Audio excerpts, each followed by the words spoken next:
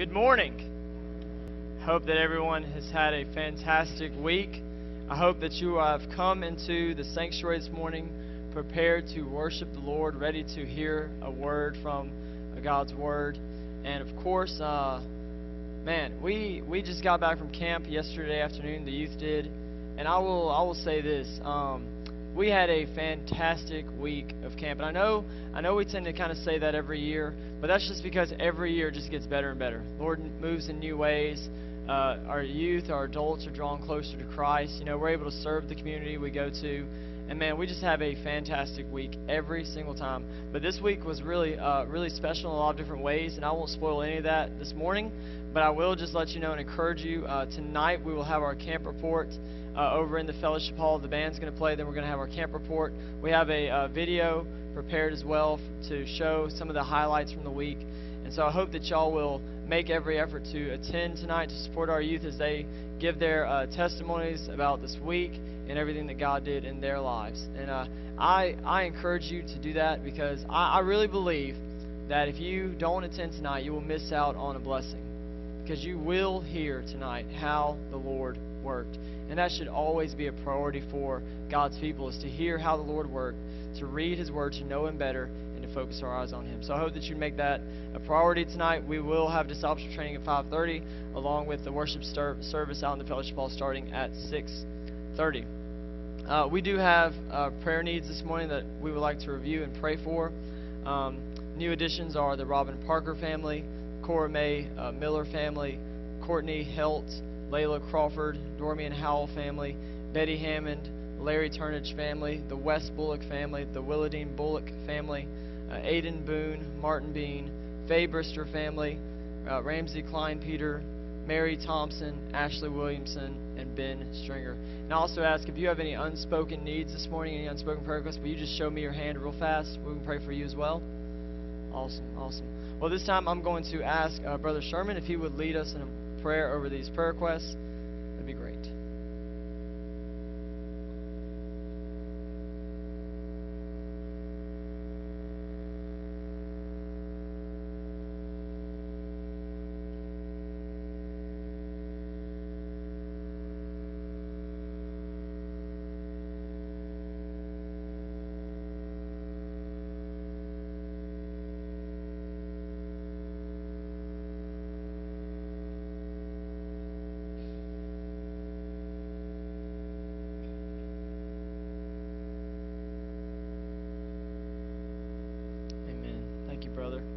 We had 174 presents today in Sunday school with nine visitors and 10 in our phone ministry class. We are also going to have children's church over in the chapel this morning, so they will be dismissed during our fellowship hymn time. Also, once again tonight, 5:30 discipleship training, 6:30 worship service in the fellowship hall with the youth camp report. And then today, from 1:30 3 o'clock, you are invited to a come and go and sip and see in honor of Lee and Chris Fanchers baby, Avery Elizabeth, in the home of Hayden and Tiffany Veruki. That's 1.30 to 3 o'clock. The details are right there in your bulletin. And then this upcoming Friday, the, the children are headed out to Lake Forest Ranch. Uh, anybody who is, who is uh, kids are attending this week, we have our medical release forms for New Hope right here on the front pew. If you've not gotten one out and filled it out for this year, please do so and have it turned in and notarized by the time we leave on Friday morning, and we'll get those details out to y'all whenever we leave, uh, when we're leaving, as soon as possible. Um, also, so of course, if you don't have children going to camp and you're kind of, well, that's a useless announcement for me. Uh, let me encourage you with one thing. Please be in prayer for our children and our adults as we go to camp. Last year, last week, last week we were at youth camp. It feels like a year ago. Last week we were at youth camp, and let me tell you, we felt y'all's prayers for us. We really and truly did. So I encourage you this week as we go, as we leave on Friday and come back on Monday, uh, please be praying for our children who are there. Pray for the adults who are there as well. That would go a long, long way. And then, of course, next Sunday, June 30th, we will have the Lord's Supper during our 10:30 morning worship service, and then the Honduras mission trip is June 25 through June 2nd, through July 2nd. And uh, be in prayer for them as they go. We have family who is going. And Lucy Stringer's going, so please be in prayer for them. And of course, the July 4th fellowship is Wednesday, July 3rd at 6 p.m. Uh, you, we will be having hamburgers, hot dogs out in the fellowship hall. We'll have games for the kids. Come out and enjoy some bingo with prizes for all ages. We ask that everyone bring either trimmings for the hamburgers and hot dogs, their favorite ice cream, or other dessert for the meal, or just bring all three and that will work too, okay? That will work too. All right, that is all the announcements I have for this morning. Uh, if you please just pay attention to the bulletin, everything that's going on there, so you can stay up to date with what's happening in our church. And please, uh, please get involved. That's all we ask. We want you to be involved. We want you to serve the Lord alongside us, and we want to see the Lord work in your life in that way. This morning, I'd like to read one verse. Acts chapter 3, verse 19. It was one of the verses from this week at camp. And it says, Repent, therefore, and turn back that your sins may be blotted out. And we'll go to verse 20. That times of refreshing may come from the presence of the Lord, and that he may send the Christ appointed for you, Jesus. Repentance is something we often think of as only happening one time in the life of the believer. We repent one time when we first come to know Jesus. But the truth is, is that repentance is it happens that one time, and that's the that's the moment that God's grace and mercy uh, floods your heart and your life, your soul, and brings your dead soul back to life, and you receive the forgiveness for your sins. But also, repentance daily for a believer is also important because even though we're forgiven of our sin, when we are sinning and we are not repenting, uh, even as a believer, we do falter and we do hinder our relationship and our walk with the Lord. So, my encouragement would be just to, for you, uh, number one, if you have not repented first of your sins ever, uh, that's the first step in the process. But also, the second step, if you are a believer in Christ, I encourage you to remember to repent daily of your sins, to turn away from them so that you can have that fresh and vibrant walk with Jesus. If you would, allow me to lead us in a word of prayer, and then we'll move forward in our service. Father, we thank you so much for allowing us the opportunity to gather here today. Lord, we gather as unworthy people who have sinned against you. But also, God, we gather as people who you see as forgiven, who you see as saints, who you see as holy and beloved, redeemed and restored. And so, Lord, even though we humbly come to your throne to worship you, God, we know we also come boldly because of the blood of Jesus that he covers us. Help us to be bold in our worship this morning. I'm sure that many of us have faced obstacles and trials this week. But Lord, those obstacles and trials, they do not matter when it comes to whether we can worship you or not because you are always worthy.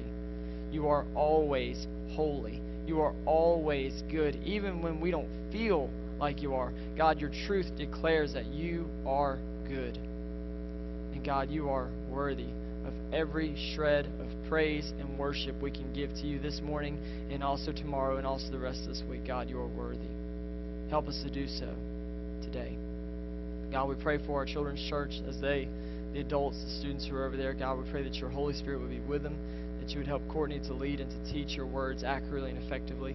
God, we pray for this morning. We pray for Brother Eric as he leads us to your throne of grace. God, we pray that you would help him to do so with a right, with a right heart, clean hands, pure heart. Father, may He give it all He's got this morning to lead us to the throne of grace. May we give it all we've got in response to that. May we worship You, keeping our eyes on You. And God, also help. I also ask that You would help me to preach Your word this morning. Lord, I am tired and I need a boost of energy to get Your word out there the way You want it done. Please help me to do so.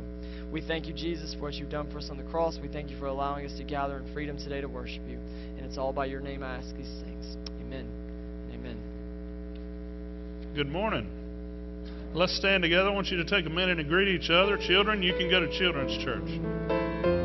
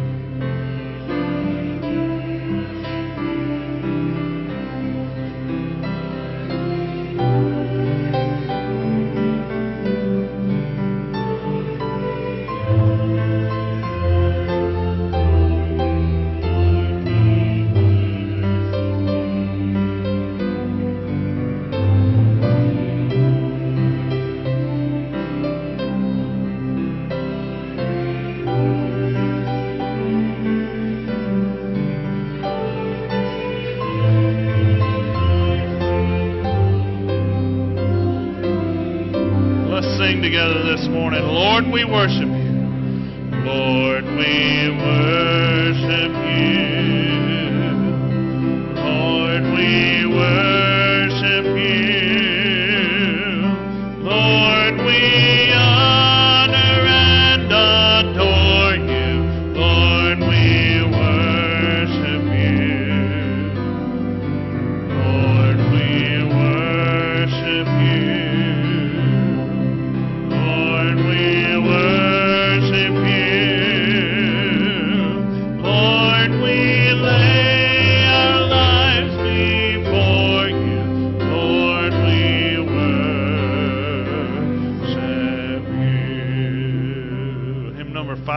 77 will be our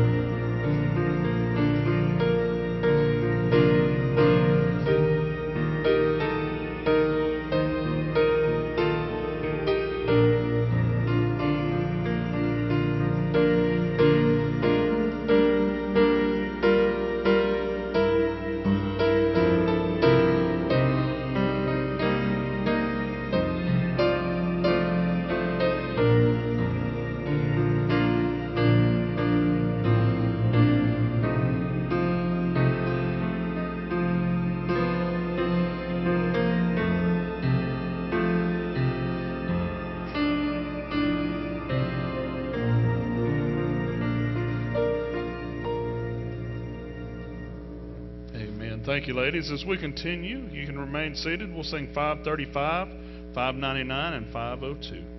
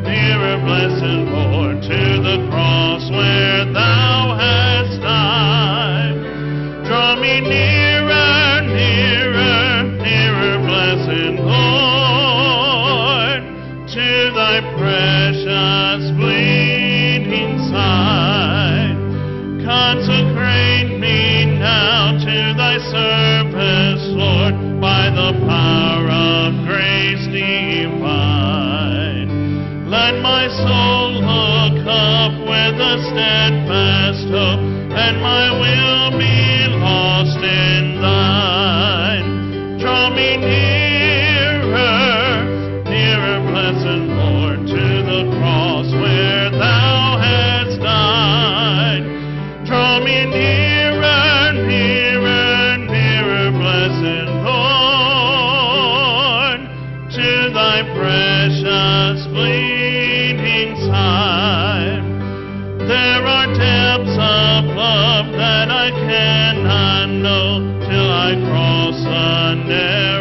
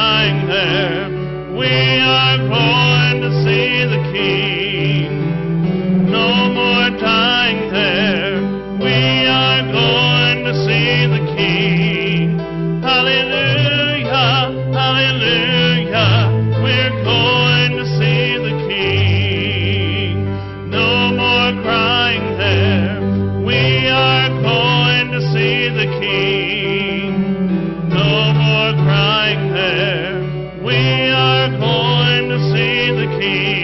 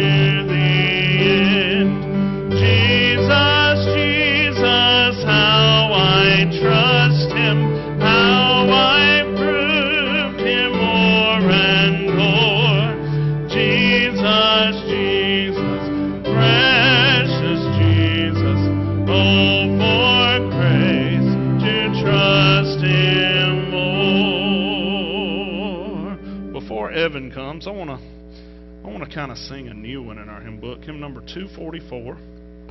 I say it's new. If you look at the bottom of the page, it was wrote in 1931, but it is new to me. How many of you know this song? 244, Calvary covers it all. 1931, and nobody's ever heard that song, right? Who knows it? Anybody? Shoot, I was going to get you to come lead it. Let's sing the first and the last. We'll try it together, okay? It's a beautiful song. Listen to the, pay attention to the words of it.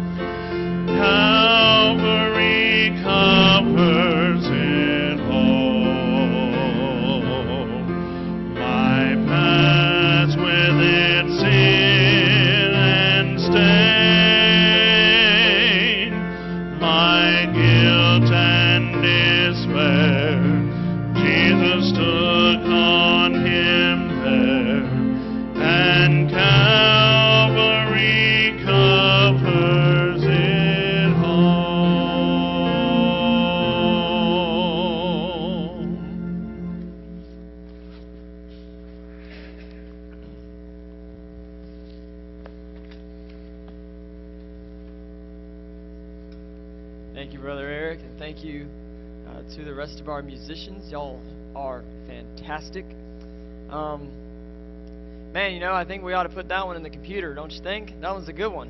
I like that. Calvary covers it all. So during the summer, there's a particular piece of fashion that always seems to make its way back up to the forefront, and that is shirts, pants, bags, purses, hats with a long legged pink bird on it, a flamingo. Have you have any of you this summer seen a flamingo shirt or flamingo swim trunks, bags, anything like that yet? Okay, like it's okay to raise your hand. I'm not gonna okay, I'm not gonna like where did you see it? I'm not gonna do anything like that, okay? Alright. But uh, over the past we went to Branson several weeks ago and and we saw all these flamingo shirts and and flamingo bags, and of course we ended up buying some. Well, I didn't buy any. Hannah bought some. And uh, but one day at Branson, the night we went to go see Elvis's cousin perform the Aloha in Hawaii concert, um, we all, it was me and then and her family and then um, her twin's fiance Rhodes, uh, we all wore our flamingo T-shirts, and you know so I've just been thinking a lot about flamingos lately. And I have a, I have a little bit of a joke for y'all. I hope that you find it funny, but don't feel like you're obligated to laugh. But there was a, a flamingo family. So you had a mommy flamingo, a daddy flamingo, a boy and a girl flamingo. So there's four of them all together. And the boy and the girl flamingo, they were doing what kids do. They were arguing, they were bickering, they were fighting back and forth with one another. And the mom flamingo comes into the room and says, Do not make me go get your father. Of course, the kids, as kids do, will stop for about 10 seconds and then go right back on to fighting.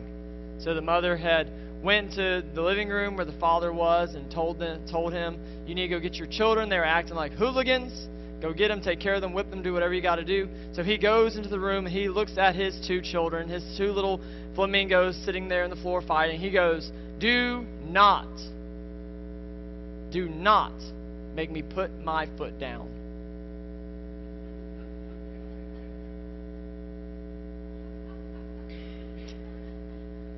You're welcome. You're welcome. You're welcome.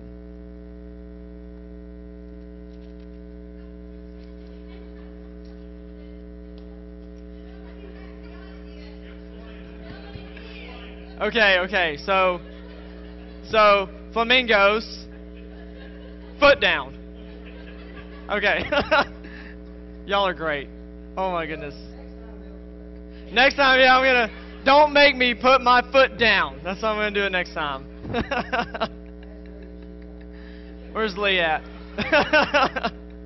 oh man, y'all are y'all are too much. Y'all are great. Oh man. Hey. Amen. So I wrote this manuscript this week while we were at Infuge at Mississippi College over in the Clinton area, and. Uh, you may notice the title behind me. It's called Jesus Rejected. It's going to be Mark chapter 6, verses 1 through 6. And our, our subject for this morning, we're going to get into it, but ultimately it's going to be about faith. It's going to be ultimately about faith.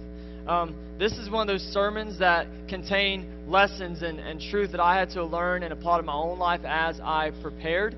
And honestly, though every sermon I prepare always is like that, right? I'm always learning and trying to apply whatever I'm teaching or whatever I'm learning. And this happens weekly for the youth as we go through different series. Which, by the way, on Wednesday nights for the rest of the summer, we're going through a series with the youth called Jesus Unchained. And we're talking about the hard sayings of Christ and how we apply those in our lives and how we faithfully follow Jesus in those sayings.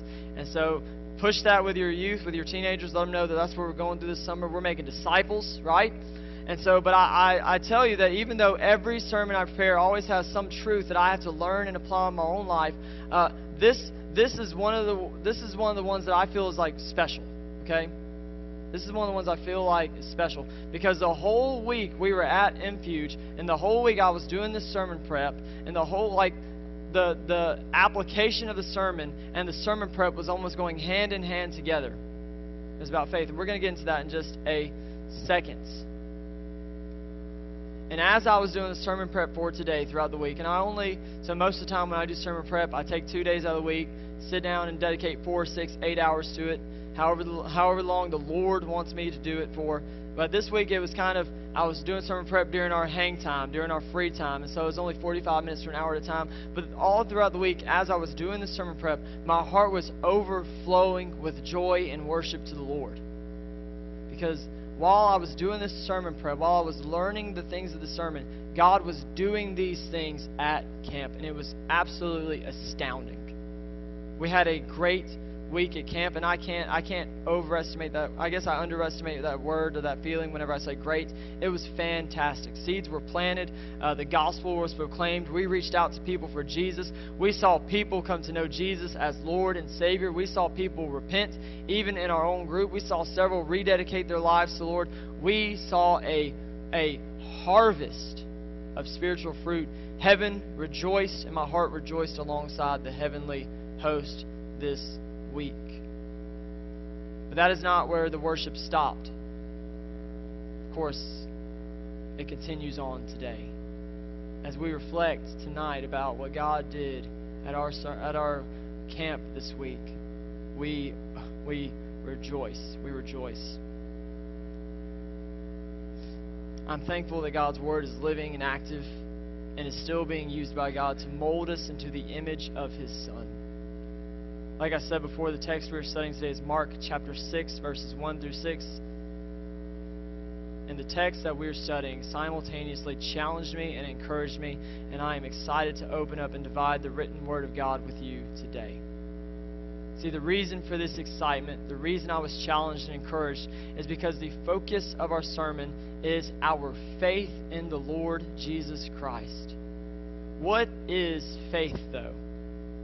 Hebrews chapter 11, verses 1 and 6 says, Now faith is the assurance of things hoped for, the conviction of things not seen, and without faith it is impossible to please Him, being God.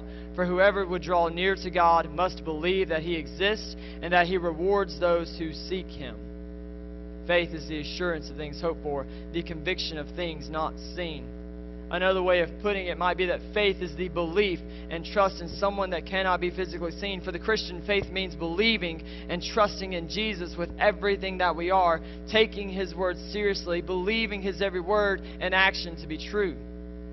What that looks like is we trust that Jesus is the Son of God, that He was crucified, buried, and resurrected, and that if we repent and confess our sins to Him, we stand forgiven. Faith is taking God at His word.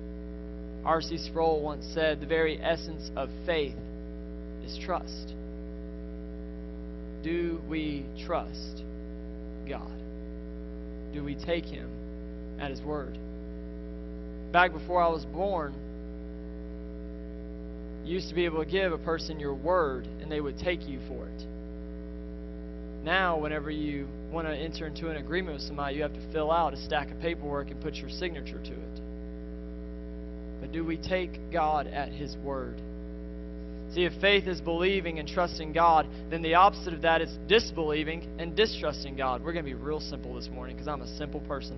What happens? So, what happens when there is a lack of trust and belief in God? That is the point of today's message. Today, we're going to examine a time in the Scriptures when Jesus returns to his hometown only to find that there is a severe lack of faith there. Mark chapter 6, verses 1 through 5. I want to share a bit with you on the context of today's passage before we dive into it. The first thing is the book of Mark itself. The book of Mark is an action oriented gospel book. That is actually the only gospel book, so Matthew, Mark, Luke, and John. Mark is the only book written to believers, right? It is the only book written to believers in Christ. Matthew, Luke, John, they're written to non believers for the sake of, of lost people reading and, and coming to know Jesus through their writings. But Mark, the Gospel of Mark, is written to believers in Christ. And is written for the purpose of discipleship. It is written for the purpose of showing us what Jesus did, what his disciples did, and for us to follow in those footsteps. There are teachings about Jesus found throughout the book, but one of its main focuses is the actions of Jesus. See, one thing you'll notice about the book of Mark when you read through it, you do not find Jesus or his disciples sitting idle in this book. They are constantly moving and doing, performing miracles, feeding the multitude, proclaiming the gospel, so on and so forth. And it serves as a reminder for us today that we, in the same way, are called to be people of God who take action. We do not sit idle in our faith, we push forward the gospel. We move forward in discipleship we do what God's called us to do. And now, so more specifically, Mark 6 is found within the context of a passage of, of, of Scripture that really starts in Mark chapter 4 and goes on that is centered around the authority and the power of Jesus. In Mark chapter 4, verses 35 through 41, Jesus displays his power and his authority over nature by calming a great storm. Followed by the fifth chapter, Jesus drives out a demon named Legion into a herd of pigs. And then the healing of Jairus' daughter. By the way, Jairus is one of the rulers of the synagogue. And so we see from the earth to the spiritual to the unclean and to even in the life of religious uh, leaders, Jesus reigns supreme. That is what we see when we look at those passages in the book of Mark. Mark is telling us about Jesus and that he reigns supreme. But in the beginning of the sixth chapter, almost tucked away into five or six verses, we find one little village that didn't believe that Jesus was really supreme. We find one little village that will not submit to the authority of Christ. They won't trust him, and we see that it has some really negative consequences on their village. This village is his hometown of Nazareth. Mark chapter 6, starting in verse 1, going all the way to verse 6. He, being Jesus, went away from there and came to his hometown. and his disciples followed him. And on the Sabbath he began to teach in the synagogue, and many who heard him were astonished, saying, Where did this man get these things? What is the wisdom given to him? How are such mighty works done by his hands? Is not this the carpenter, the son of Mary, and the brother of James and Joseph? Maybe some of your translations say Joseph. Both are correct. And Judas and Simon? And are not his sisters here with us as well? And they took offense at him. And Jesus said to them, verse 4 A prophet is not without honor except in his hometown and among his relatives and in his own household. And he could do no mighty work there except that he laid his hands on a few sick people and healed them. And he marveled because of their unbelief. And then he went about among the villages teaching. Pray with me. Father, we pray that your word be living and active still to us today. We know that it is. The Lord, help us to feel that. As I preach your word this morning, God, I pray that it would be you who speaks, not me. May you be honored. May you be glorified. And may our hearts and our minds receive this word that you've given to us this morning. May our faith in you be true as we plunge forward into the scriptures. As by Jesus' name I pray these things. Amen. See, I cannot but try and place myself in the shoes of Jesus at this moment. Could you imagine returning to the place you were raised and finding that most everyone there has, has, has really turned their back on you, has stopped believing you, has stopped trusting you? See, this is Jesus' hometown, the place where you would think he would have been welcomed and embraced the most out of all the villages he's been to. You would think that because they were raised with Jesus, because Jesus was there and he grew up among them, you think that when he returned to his hometown, he would receive a welcoming party. You think that they would receive him, that they would receive his words, that he would be able to do mighty works there. But no, that's not the case at all. He returns home, begins teaching in the synagogue, and what happens next? Firstly, we see that they are astonished at his teachings, even going so far as to ask the question, Where did this man get this wisdom? We see throughout the scriptures many times when Jesus is teaching the people, and the people are astonished at his teaching, and that leads them to trust and believe in him. But very quickly, though, the questions raised by the people of Nazareth take a negative turn. In verse 3, it says, Is not this the carpenter, the son of Mary, the brother of James and Joseph and, and Judas and Simon? Are not his sisters here with us? And they took offense at him. And this brings us to our first point this morning. By the way, this sermon's like a longhorn steer. There's two points and there's a lot of bull in the middle, okay? So we got two points this morning. Jesus' divine authority was rejected in Nazareth, Nazareth due to their familiarity with him. Jesus' divine authority was rejected in Nazareth due to their familiarity with him. Verses 3 through 5. The people of Nazareth, like I said, were the ones who grew up with Jesus. They knew his parents, although apparently they did not know his heavenly father. They knew his siblings, they knew him, they were, they were familiar with him.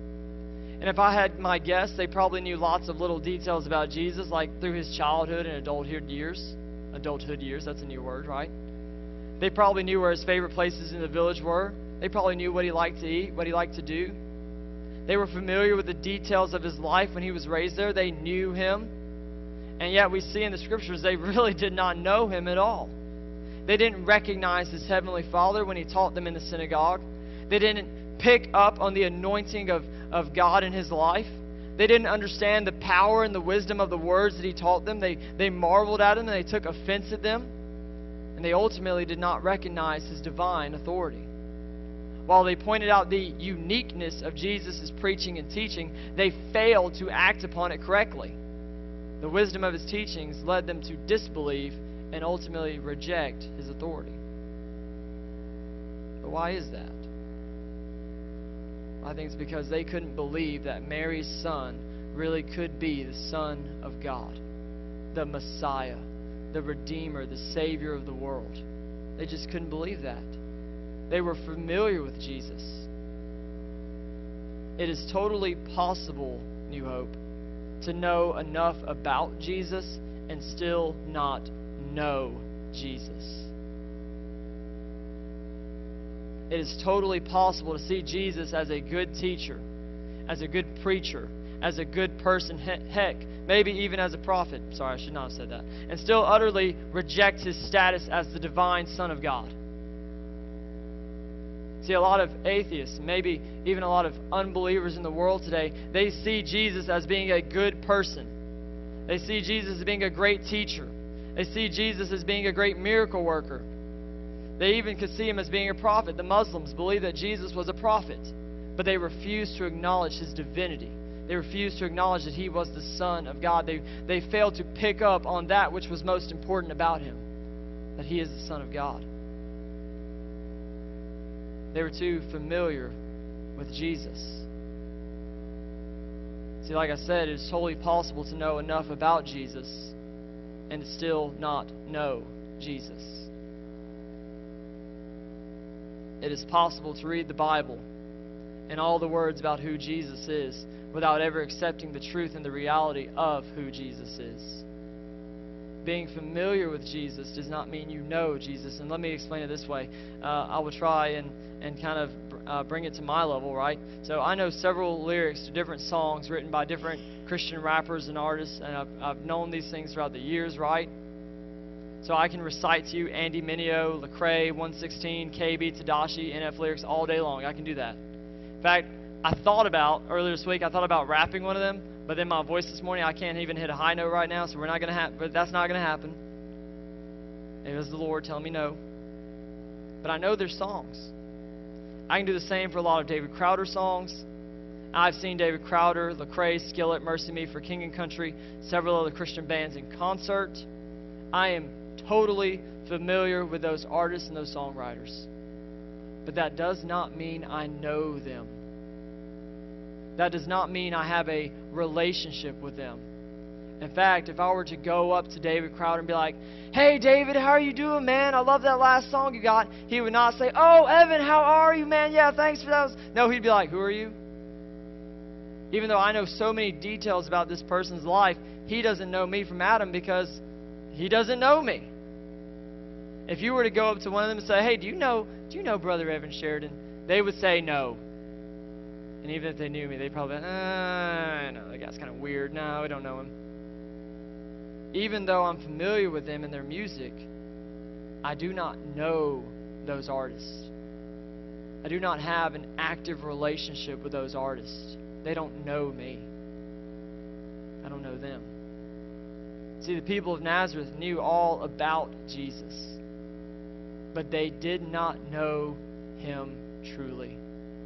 They were familiar with him, yes, but they did not know him. See, one thing that our speaker this week, uh, Paul Cunningham, said, he said, You can uh, have proximity to Jesus, but not intimacy with Jesus. What that means is you can know all about him and still not have an active relationship with him. They grew up in proximity with Jesus, and yet they had no true relationship with him. They did not understand his true nature. And remember the context of the text we're looking at this morning. Mark is a book of action. And over the last few chapters, the human author of Mark, which does anybody know who the human author of Mark is? It starts with an M. Mark, yes. All right. Mark focused in on Jesus' authority over these last few chapters. He wrote down the wonderful things that happen when we believe Jesus, when we take Jesus at His word. But in this passage, he shows us what happens when we are familiar with Him but do not know Him. This brings us to our second and final point for this morning Jesus' rejection in Nazareth led to a very small projection of the power of God. Jesus' rejection at Nazareth led to a very small projection of the power of God. Verse 5 reads this And he could do no mighty work there, except that he laid his hands on a few sick people and healed them. And he marveled because of their unbelief. Verse 6. See, up until this point, Jesus has been doing some incredible works. A brief reading through the book of Mark shows Jesus healing people, driving out demons, cleansing lepers, uh, calming dangerous storms, feeding thousands of people with, with but just a few fish and a few loaves of bread. And we see him walking on water. We see all these things that point us to his authority and his power. See, Jesus is powerful and he is mighty. And when he moves and when he works, he moves and he works and it always increases the faith of the witnesses. God loves for us to act in faith and to trust Him with all that we have. And the result, or maybe according to Hebrews, I should say, the, the reward of this type of faith is the powerful outward working of God. Now, let me say this too. This is not to say that God needs our faith to do powerful things. He doesn't need anything about us at all to do mighty works. We were not around when he spoke the universe into existence. Y'all remember that? We were not around. He didn't need us to be there to, yes, God, you can go ahead and create the earth now. I believe you can do it. No, it wasn't anything like that. He can do powerful works all on his own. He is not limited by our lack of faith, and he is not, he is not pushed forward because of, the, uh, because of how much faith we have. But by our faith, he moves and works on our behalf to further his own glory the subject of what God does and does not do based on our faith is a subject for another morning. But the fact of the matter remains is that when we trust in the Lord, big things happen. He rewards our faith. We see that example throughout the Bible. We see it in Matthew chapter 8, verses 5 to 13, when we read the story of the centurion who comes to Jesus asking him to heal one of his servants. And when Jesus says, Yes, I will come, I will go to your house and heal him, the centurion says, No, no, no, you don't have, I'm not worthy of you to step under my roof. On, roof. Only say the word, and I know he'll be healed.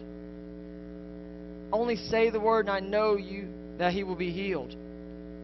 The centurion responds, Of course, Lord, I'm not worthy to have you come under my roof, but only say the word, my servant will be healed. And immediately after, Jesus heals his servant because of their centurion's faith in him. In fact, Jesus even says, I have not found a faith like this throughout all of Israel.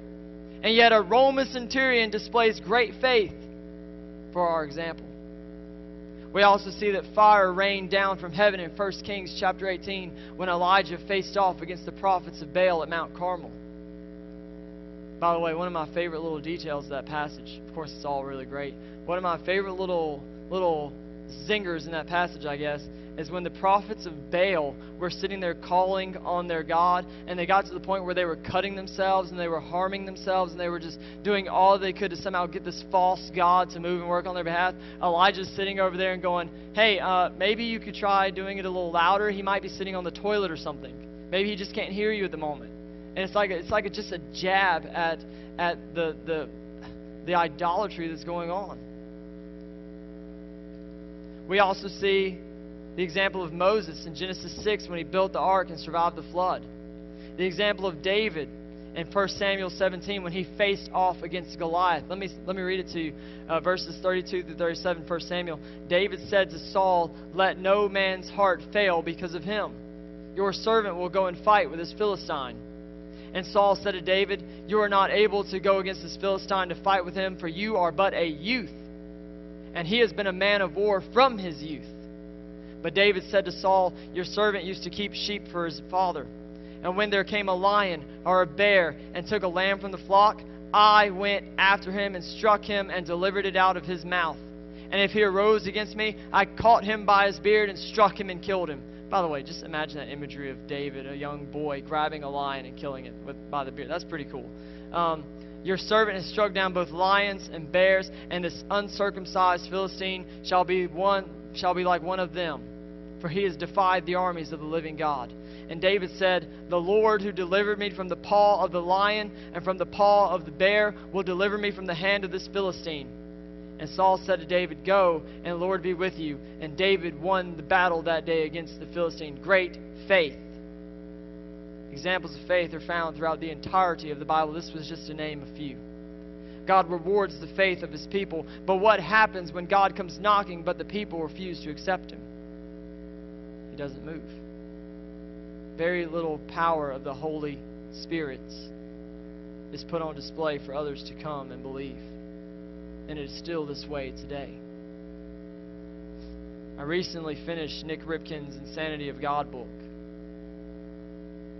It is a book about one man's journey to learn about how to make disciples in countries that are utterly hostile to the gospel of Jesus. And in each of his trips to all these different countries all over Africa, the Middle East, Russia, Asia, he finds that Christianity is not waning because of the persecution, but rather the church is growing because of it. And it's not growing in small little bits and pieces, it is growing drastically. Why? Because the people there who are living under persecution believe that God is able to move. I recall the story of one, uh, one man in his book a Russian by the name of Dmitri who lived during the time of the Soviet Union's era. And the Soviet Union would hear about these house churches come up, and they would arrest the leaders of this house church, and they would throw them in jail. And so Dmitri was one of these, and he got put in this jail with 15 other, 1,500, not 15, 1,500 other hardened criminals. And every morning, Dmitri would stand up, he would face the east, and he would sing a song of praise to God. And while he was singing the song of praise, the other criminals would be jeering him. They would be mocking him. They would be throwing things at him. They would be insulting him. The guards would hear him sing, and they would come in and they would beat him for his faith, and they would threaten to kill him. Every time Dmitri would find a scrap of paper or a piece of charcoal out in the prison yard, he would sneak it back to his little prison cell and he would he would write out whatever scripture, whatever worship songs that he could remember, whatever stories from the Bible he could remember. He would write it, and then he had this little post in his room that kind of connected to the wall and the ceiling, and he would put it on that post as an offering to God. And the guards would come in, they would see that paper, they would immediately take it down, and they would continue to beat Dmitri and they would threaten his life. Well, one day, Dmitri just couldn't take it anymore. He said, I'm, I'm giving up. If I, the guard said, if you recant your faith in Christ, we'll let you go and you'll be free. And there came a point after years of this where Dmitri said, I give up. I can't do it anymore. So he told the guards of what he was going to do. He said, I'll, I'll, I'll sign the paperwork recanting my faith so I can be let go. See, previously, by the way, I left out this little detail. Previously, the guards had told him that his family was dead, that they were killed. But that night, about a thousand kilometers away from that prison, his family had a leading from the Holy Spirit that they needed to pray for Dmitri. And so his brother, his wife, and his two children gathered into the living room, got down on their knees, began praying out loud for Dmitri. And somehow, by the Holy Spirit of God, Dmitri that night heard the prayers of his family. The next morning, when the guards came in with the paperwork, Dmitri looked them stern in the eye and said, I know that my family is alive. I heard their prayers last night. I have faith that God can move, and you will not move me. They then took Dmitri out of his cell, beat him to within an inch of his life. But while they were beating him, the other 1,500 hardened criminals were standing by their bedside singing praises to God. God is still at work in today's cultures and countries, even where they are hostile to Him. Even when they are hostile to Him. At this point, I want to bring us to us who are sitting in the room this morning, right here, right now. Do we consider ourselves to be people of faith? What I mean by that is, do you believe in Jesus with everything that you've got. See, I've kind of noticed a pattern in our culture today. This is moving from us to, of course, the larger picture here of American Christianity. But I've noticed that there is a pattern of powerless ministry from our churches. While God is doing big and mighty things in all these different countries all across the globe, it seems that Christianity in America is fighting on the back of its heels, meaning that we're losing ground in our culture. And I cannot help but wonder if it's because of a lack of faith among believers in Christ today. Have we become so familiar with Jesus that we substitute our knowing about Him for knowing Him? Have we become so caught up in work and sports and hobbies and entertainment that following Jesus has become just a side gig for us? Throughout the week, do we live to ourselves, but Sunday we put on our mask and come in and we worship the Lord? See, a lot of the reasons why we face or we have powerless ministry in our churches today is because there is a lack of faith among the people. And I don't say that to condemn anybody, I say that to help us realize where we stand. If that shoe fits, wear it. See, the main push of the message this morning is not to inform you about faith, but rather to use the Nazarenes as an example for us. Where is our faith this morning? What is it in? My old pastor used to say if you want to know uh, where a man worships at, where his heart is at, you look at his wallet and you look at his calendar. You look at what he's spending his money on, and you look at what he's spending his time doing, specifically his free time. Is our faith in Jesus truly and wholeheartedly? One thing that Paul Cunningham said this week that really resonated with me at the last day of camp, the youth will remember this. He threw up a pie chart on the uh, the screen and said, uh, "If if you don't follow Jesus in every area of your life, meaning work, school, family, so on and so forth. But the only time you follow Jesus is when you're like at church and then when you read your Bible, when you pray, and when you go on like a youth trip and a mission trip. You know, say you do all those things and say all your quiet times every day last about 30 minutes to an hour, then by the end of your life, you would have only spent, was it a life or a year? It was it was a year, thank you uh, then at the end of the year, 365 days of doing that, you would have only spent about 8% of your time actually following Jesus and 92% of your time doing other things. And that's when he brought the point to say, uh, so it's not about just doing things when what the Lord approves. It is about getting other areas of your life under the authority and power of Jesus Christ, including our work, our families, our schooling, our relationships, our sports, our hobbies, our entertainment, so on and so forth. It is about bringing those things under the reign of God and allowing us to influence them for Jesus. If you want to follow Jesus truly and wholeheartedly, you must follow him faithfully daily and watch Him do many great things in our communities. And listen, it is fine to spend time in the Word of God. That is great. We encourage that. But don't just stop there. Take what you read from the Word of God and apply it to your days as you go out day to day to day to day to day. See, I believe that if we would do that, New Hope, I believe that if we would be faithful to bring Jesus into every area of our lives, then our communities, our churches, and our families would be utterly transformed for the gospel. If we would know Him as Lord and Savior rather than know about Him, man, we could see some awesome movements of the Holy Spirit. See, we can have all the head knowledge in the world when it comes to Jesus and still be just as lost as we were before we even heard His name. Knowing Jesus is more than affirming facts or doctrinal statements. Knowing Jesus is about being in a personal relationship with your Creator and striving daily to follow Him. Knowing Jesus means being unashamed when He calls you to give a witness. Knowing Jesus means picking up your Bible on a daily basis rather than just on Sundays or Wednesday nights. It means spending time with your Savior in the Word of God and in prayer. Knowing Jesus means doing ministry in the example that He has set for us knowing Jesus genuinely produces a desire to share Jesus with others because knowing Him really is that sweet and that awesome. Knowing Jesus means to know that when you draw your last breath on this planet, you'll wake up in paradise with your Savior.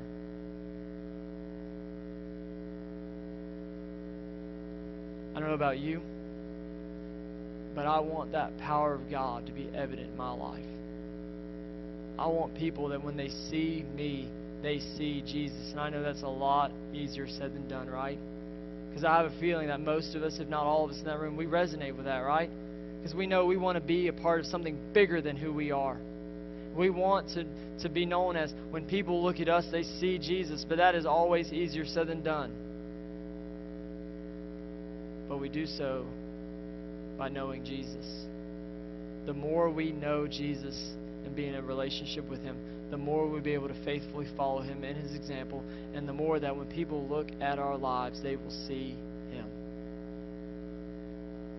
See, we experienced the power of God this week at camp with our youth, and we're going to learn about that a little bit more tonight. But my question, though, as we come into this time of invitation, my question, though, is this Do you know Jesus as your Lord and Savior? Or have you been using the fact that you know facts about him as a wall or as a way to hide the fact that you really don't know him at all?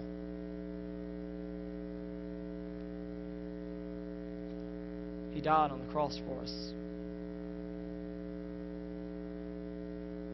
so that we could be saved from the condemnation of our sins. And I pray that every person in this room would know that sacrifice, would know of that love and that grace and that mercy by repenting of their sin, maybe for the first time today, and placing their faith and trust in Him.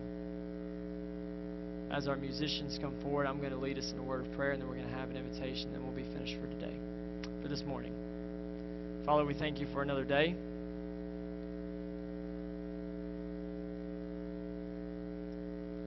Lord, as we come into this time of invitation, help us to be honest with you, with ourselves, with the folks sitting around us. Help us to be honest about where we stand with you. Because, Lord, there is no more important detail. There is no more important thing in our life than knowing you as Lord and Savior. We cannot substitute knowing you for religion. We cannot substitute knowing you for good works, good deeds. We cannot substitute knowing you for good intentions. Lord, there is only knowing you. And I, my heart's prayer, God, is that every person in this place knows you. That they not only know about you, but that they know you, that they have a relationship with you. If not, I pray that you would convict them where they are, that they would be unashamed to respond to your leadership today. And God, I thank you for this opportunity you've given us to be in your word this morning. Pray that you would see you that you would use it as you see fit. And we thank you so much for the cross, Lord. Knowing that it was upon that cross our sin was atoned for. And that we accept that gift by placing our faith and trust in you. Help us to do so this morning. It's in Jesus' name. Amen. Will you please stand?